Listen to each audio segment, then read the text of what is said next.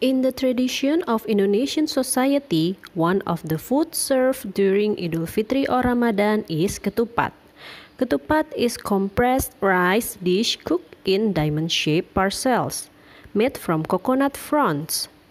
It has a very bland taste and is normally served with other dishes, such as rendang, opor ayam, or dried beef curry. And now let's make weaving ketupat art and craft together.